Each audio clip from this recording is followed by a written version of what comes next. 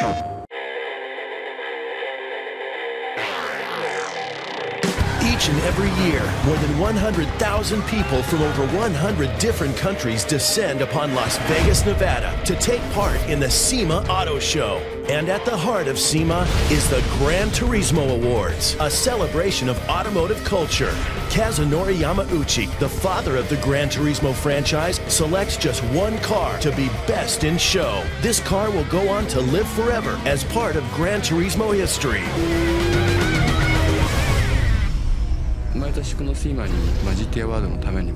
Coming to SEMA every year is a great opportunity for me to get immersed in the American car culture, experience it firsthand. There are so many cars here and so many car aficionados, so it's an honor to be here to be able to present this award. And for me personally, it's a great way for me to stay up to speed with the American car culture year in and year out.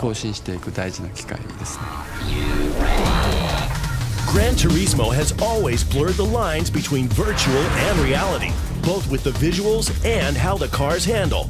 Gran Turismo 5 elevates the series to the next level with unrivaled graphics, unparalleled driving physics, and a host of innovative new features. As a real racing driver, it comes closer and closer to what we really do. I went to the Nürburgring to try and set a world record, and I used this as my track preparation. And when I got there, I knew the track. Pretty cool. Gran Turismo had a really great job doing the graphics.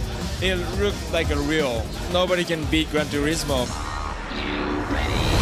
With the amount of respect and admiration Gran Turismo has earned in the automotive community, it's no wonder that winning the GT Awards Best in Show has become a dream to many. And with an amazing crop of past winners, it would be hard for this year's group to match up. However, Kazunori Yamauchi found seven great finalists from five different categories.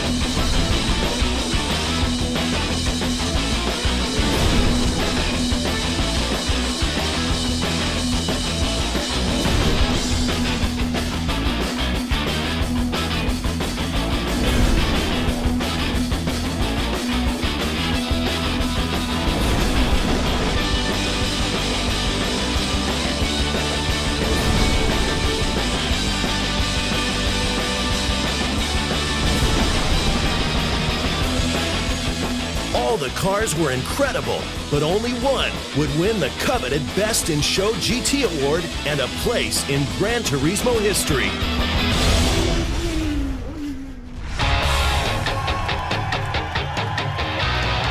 So here's the moment we've been waiting for.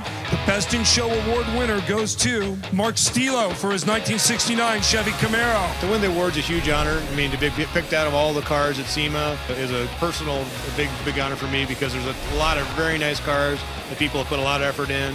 And for my car to be chosen over all those other cars is an immense honor.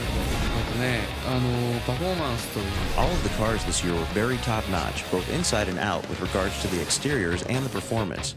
But the reason that I chose the Camaro, the reason that it stood out, was that it was a very important vehicle in the history of automobiles, as well as the goal they have for the car.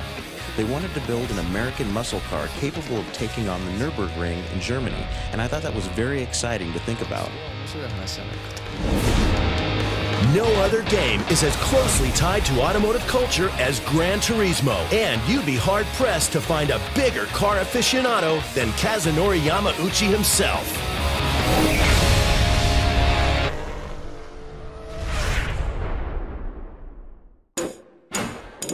PlayStation